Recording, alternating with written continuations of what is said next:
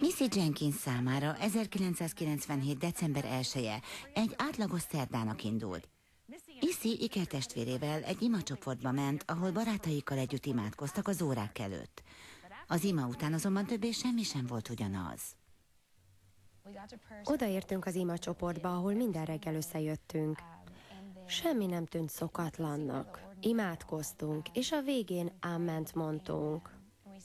Alig, hogy kimondtuk, az aula közepére sétáltam, és ekkor kezdett el lövöldözni.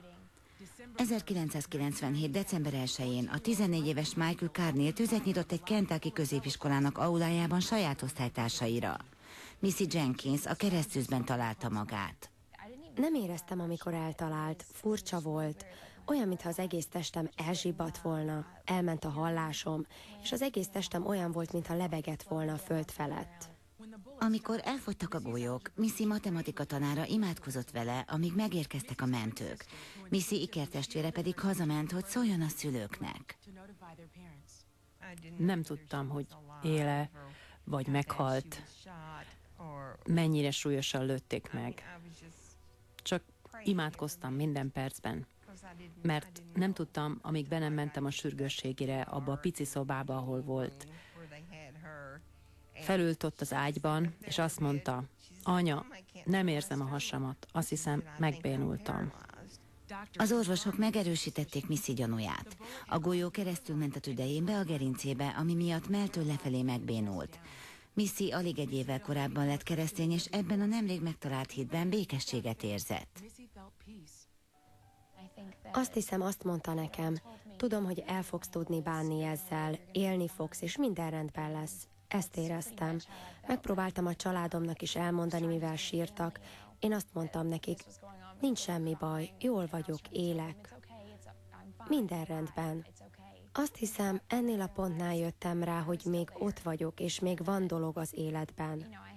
Még nincs vége. Öt hónap fárasztó rehabilitáció megtanította Missit napi szinten önállóan létezni. Visszatért a középiskolába, hogy befejezze tanulmányait. Azt hiszem, egy dolog segített végigcsinálni, hogy egész idő alatt annyi ember volt, akik imádkoztak értem. Egyik nap 600 levelet és 30 csomagot kaptam emberektől a világ minden tájáról.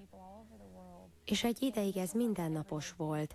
Én pedig végig gondoltam, ha ennyi ember van, aki imádkozik értem és mögöttem áll, akkor miért kéne leállnom?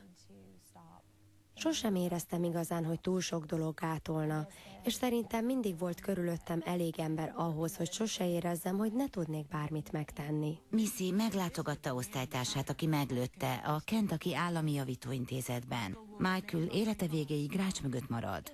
Ez olyan dolog volt, amin sokáig gondolkoztam, hogy meg kellene tenni, mert Michael olyas valaki volt, akit valaha barátomnak tekintettem. És rengeteg olyan kérdést kaptam, amire csak feltevéseim voltak. Úgy éreztem, fel kell tennem neki ezeket a kérdéseket, hogy az emberek megtudják a választ. Neki egyszerűen visszajelzés kell arról a helyzetről, amit csinált. Tudja, úgy voltam, hogy vigyünk bele valami pozitívat. És ha én meg tudom ezt tenni, akkor szerettem volna. Két utat választhattam volna. Dühös lehettem volna az egész helyzet miatt. Negatívan is hozzáállhattam volna, hogy úgy érezzem, soha nem lesz jobb. Vagy hozzáállhattam úgy is, hogy egész életemben boldog leszek és családom lesz. És köszönöm Istennek, hogy megmutatta nekem a helyes utat. Emlékeztetett rá, hogy még mindig megtehetek bármit, amit akarok, még ha tolószékben ülök is. Missy sikerének része a főiskola, a házasság és az anyaság is.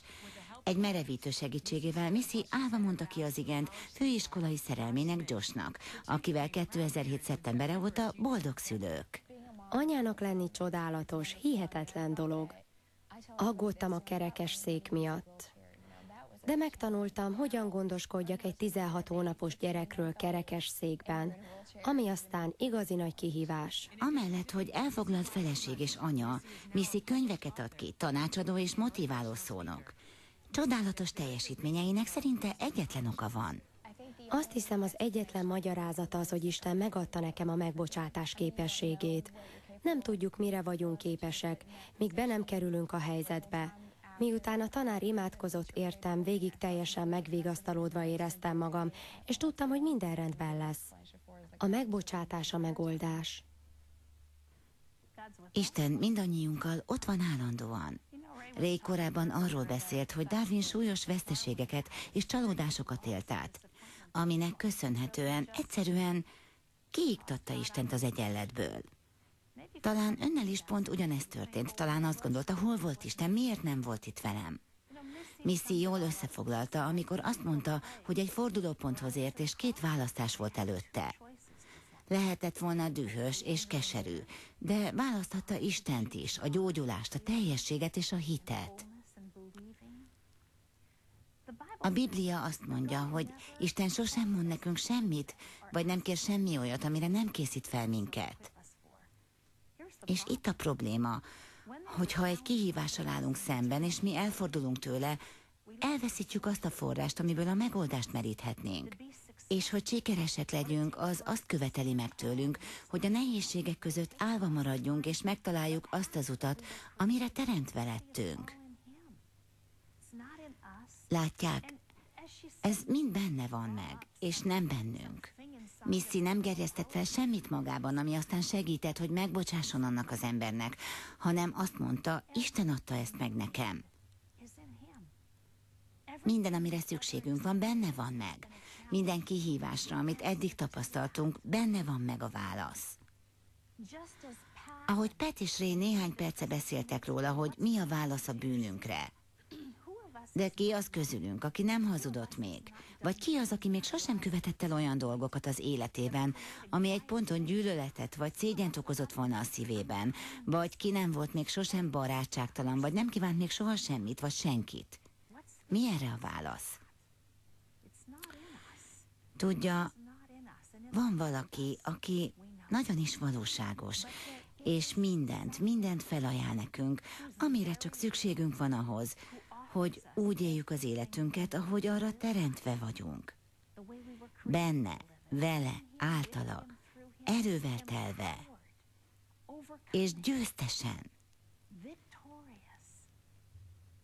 És mindezt Jézus Krisztus által.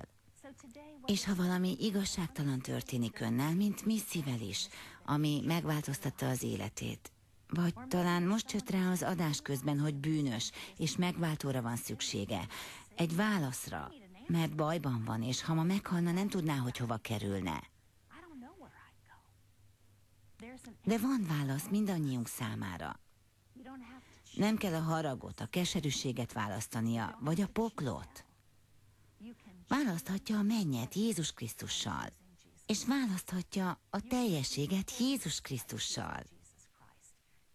Neki van egy tökéletes terve az ön számára és fel is fogja készíteni önt arra, hogy át tudja szakítani a célszalagot, hogy az örökkévalóságot vele töltse el. Erről szól az egész. Vele lehetünk teljesek, egészségesek, szeretni fogjuk őt, és ő pedig minket. Adja meg Istennek azt az esélyt, amit más dolgoknak már megadott az életében. Kérem, imádkozzon velem.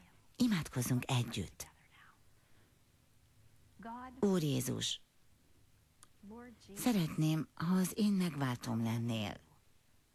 Ma választás előtt állok, és én téged választalak. Szeretném, ha a lelkem megváltója lennél. Én elismerem, hogy bűnös vagyok, és hogy nekem is megbocsátásra van szükségem. Uram, most meg engem Jézus vérében. Elismerem, hogy a halálod a kereszten miattam volt. Szeretném, ha az életem ura lennél. Kérlek, jöjj a lényem középpontjába. Tanítsd meg nekem, hogy hogyan éljek a te utat szerint, és adj nekem hallófüleket, hogy mindig meghalljam a szavadat, amikor szólsz hozzám.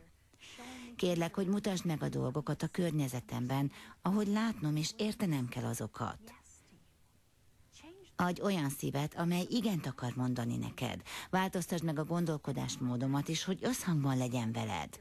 És most kérlek, hogy töltsd be a Szent Szellemeddel. Pecsételj meg engem ebben a fogadalomban, amit neked teszek ma. Én szeretném veled tölteni az örökké valóságot, a Jézus nevében. Ámen.